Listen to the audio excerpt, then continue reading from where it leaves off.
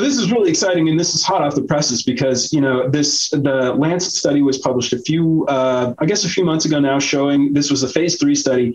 Jesse Dawson and some colleagues, in conjunction with a company called Microtransponder, had done a study in 2016 that was a phase one open label study where they paired vagus nerve stimulation with rehab, and patients showed a significant improvement, which was really exciting. It was fairly small, about 10 patients per group, um, and of course, with the phase one study, the patients who didn't receive VNS knew that they didn't receive VNS because they hadn't been implanted. So it's hard to blind a study when it requires a surgical intervention and one group of patients doesn't get the surgical intervention. So that was uh, basically an interesting initial findings, but the next step, of course, is to do a double blinded study. So they did a phase two study, which was published in 2018, where all the patients received vagus nerve stimulation implant. And in the first phase of the study, patients either got active stimulation or placebo stimulation.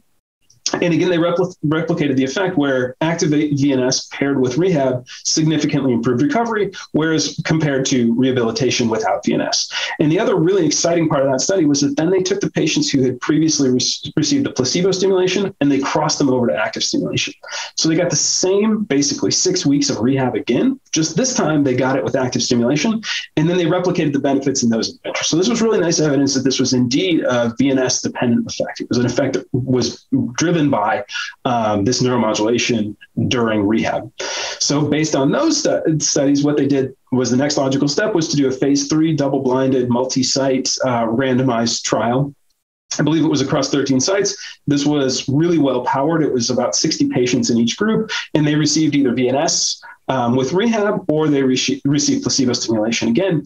And again, they replicated this effect where patients who received active VNS showed significantly better recovery. And I should mention that all in, in all of these cases, um, the therapy was there. There were no uh, uh, serious adverse device, serious device related adverse events, and no unanticipated device related adverse events, suggesting that this VNS therapy can be safely administered and that it's feasible to do so. So the combination of the safety demonstrated across the studies and the efficacy demonstrated in the phase three study led to a submission to the FDA, and that was recently approved by the FDA within the last week. So the upshot from that is that hopefully patients will be able to get access to this therapy um, fairly soon. So of course, you know now uh, now comes some additional hard work that you know once you've shown that the therapy is safe and effective, now comes the part of the actual implementation, which is a big step. So delivering this to patients is going to be the next step, but the important thing is that all of the regulatory um, you know,